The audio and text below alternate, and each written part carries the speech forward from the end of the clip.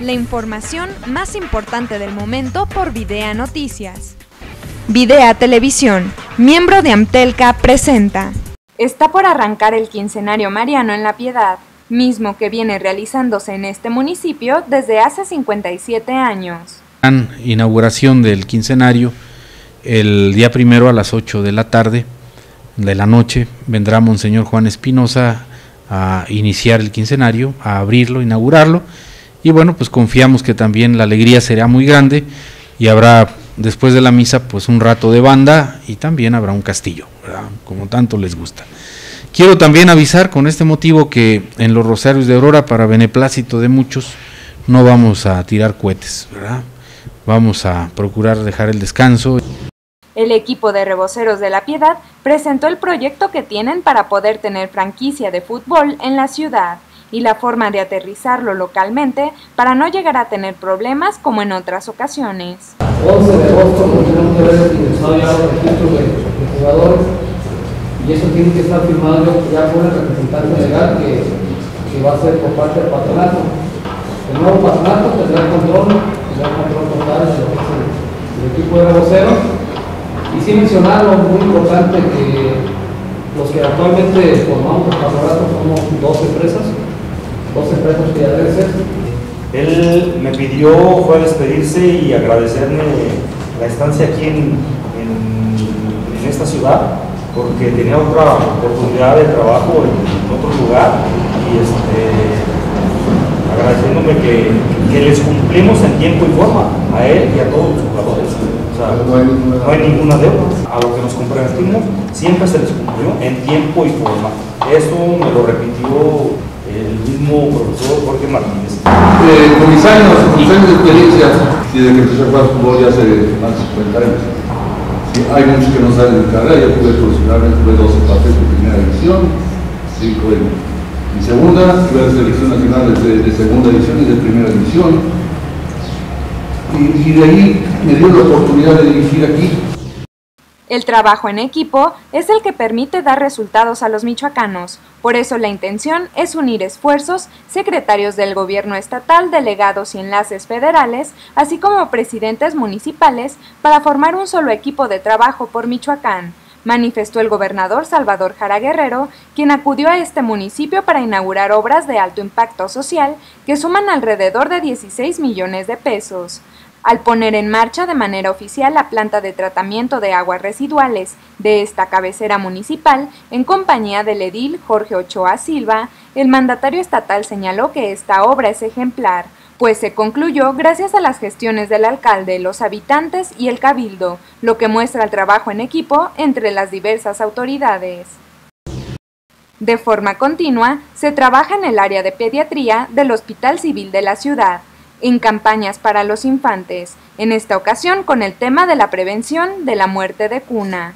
La muerte súbita del lactante, como su palabra lo dice, es que de manera inesperada, de manera súbita, en un niño aparentemente sano, ocurre que puede fallecer sin una causa aparente. Eso puede suceder en el primer año de vida, pero vamos a decir que siete de cada diez casos de niños que fallecen inesperadamente ocurren entre el segundo y el cuarto año de vida. ¿Por qué ocurre esto? Lo que más se sabe es la posición para dormir, lo que más se reconoce como una causa. Tradicionalmente nos han eh, este, transmitido que la posición para los niños es de ladito, boca abajo, que para evitar eh, que se atraganten porque vomitan y cosas por el estilo. Y definitivamente es todo lo contrario. La posición apropiada para dormir en un bebé es boca arriba. ¿Qué otros factores influyen? Que se fume en la casa o que se fume en el cuarto donde duerme el niño, que puede afectarle en que no respire bien, que el niño comparta la cama, porque los niños pueden morir por asfixia, de hecho, hay mamás que llegan a quedarse dormidos literalmente encima de los bebés, poner un exceso de abrigo. Y también eh, se menciona, y hay que decirlo también, que la falta de lactancia materna puede ser un factor que puede influir. En la Consejería Familiar de la Piedad se trabaja con diferentes foros y pláticas para las personas, mismos que van encaminados al fomento de los valores. Y para esta ocasión se realizará una conferencia magna. Sí, para este viernes queremos invitar a todos los padres de familia y personas interesadas a que nos acompañen en esta conferencia que tendremos, Escuela para Padres, de tema adicciones y familia. Pretendemos con este tema poder hacer conciencia de todo tipo de adicciones que se pueden estar enfrentando, sobre todo en el núcleo familiar. Adicciones está muy asociado con drogas, sustancias tóxicas, pero también hay otras adicciones como puede ser también adicciones a las compras, adicciones a la televisión, ahora que está tanto la tecnología, al teléfono, al todo lo que es lo cibernético. Entonces queremos ahondar en todas esas tendencias que afectan en la convivencia familiar.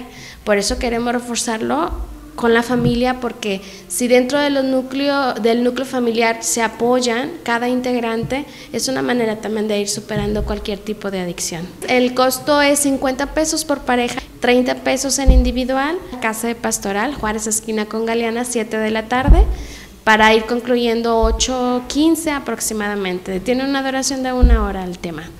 También contamos con el servicio de guardería. Silvana Aureoles Conejo destacó el extraordinario esfuerzo y buenos resultados que ha hecho el PRD en todos los niveles para poder convertir en una realidad la consulta popular, porque se dice fácil, pero juntar dos millones de firmas no es sencillo. Es un esfuerzo muy grande por varias razones. Destaco solamente una parte de ellas. Es un tema complejo y además toda la campaña oficial diciendo cosas que no son ciertas de las grandes ventajas de la famosa reforma, que evidentemente confunde a un sector importante de la población, mencionó Aureoles Conejo. Dentro de las acciones de proyección y fortalecimiento del programa de conservación de especies nativas del lago de Pátzcuaro, personal técnico de la Comisión de Pesca del Gobierno del Estado realizó la siembra de 150.000 crías de pez blanco en la localidad de Santa Fe de la Laguna de este municipio.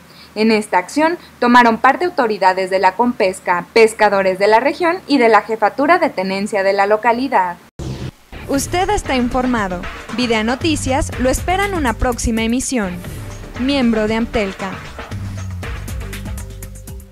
Gracias a tus contribuciones, el Gobierno de la Piedad concluyó con la segunda etapa de rehabilitación del libramiento Martí Mercado. Con 700 mil pesos de recursos enteramente municipales, reconstruimos un kilómetro de esta arteria. Sabemos que falta más, pero con estas obras vamos hacia adelante para hacer de la Piedad el mejor municipio de Michoacán.